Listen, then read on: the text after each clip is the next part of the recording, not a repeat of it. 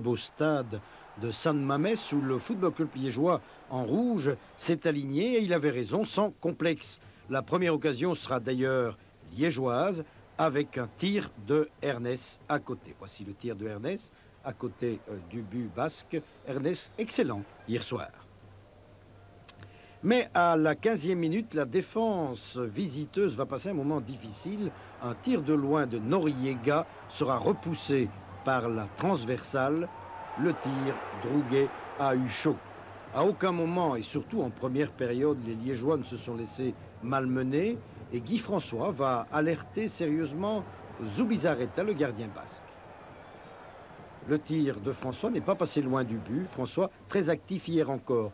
29e minute, la suite de cette remise en jeu, le ballon va circuler dans le rectangle liégeois et les Espagnols vont réclamer un penalty pour une faute de main de Justo. Voilà, ici, nous allons revoir la phase. Il semble bien que Justo, l'arrière central liégeois, au demeurant excellent de bout en bout hier soir, et bien que Justo ait bien touché le ballon de la main. Monsieur Procop refusera le penalty à l'Atlético. Voici le moment où Justo va effleurer le ballon.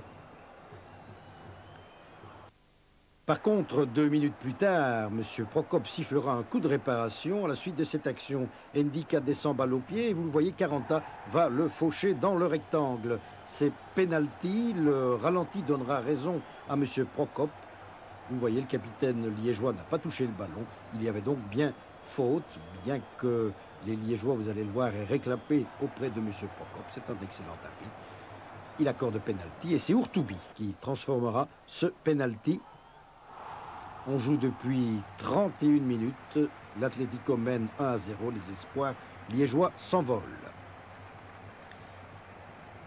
Mais loin de se décourager, eh bien Liège continue à bien occuper le terrain et même à solliciter Zubizarreta. Ici un tir de Ernest. Réplique dans l'autre camp, ici euh, Luc Ernest, réplique dans l'autre camp, juste avant le repos, une tête de Noriega passe au-dessus du but de Drouguet. 1 à 0, c'est le score au repos. Le temps de boire un coup. Et puis on va voir un très mauvais début en deuxième mi-temps pour nos compatriotes. On rejoue depuis 6 minutes à peine. En effet, ce sera le coup de grâce pour les Liégeois sous la forme d'un nouveau but, un but inscrit par Noriega. Le voilà, le tir 2 à 0, un tir que nous allons revoir. Drouguet était trompé. À la minute suivante, c'est Noriega encore qui va inquiéter le gardien liégeois. Voici la phase.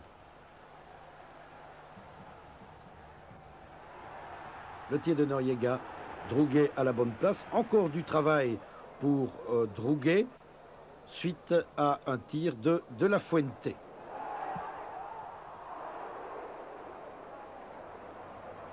Et c'est Noriega, encore lui, qui portera le score à 3-0 à la suite de ce coup de coin. Vous allez le voir, un tir puissant qui ne laisse aucune chance à Drouguet. Tir qui mérite un ralenti. Ballon détourné par la tête de Caranta va arriver finalement dans les pieds de l'attaquant basque dans la lucarne, c'est but.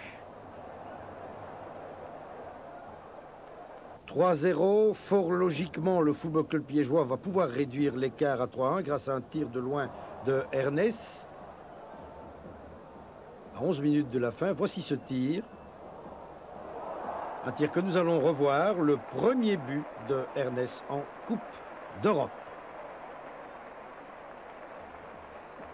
Deux dernières actions marqueront la fin de la partie, une dans chaque camp. Une tête de Ndika trouvera Drouguet.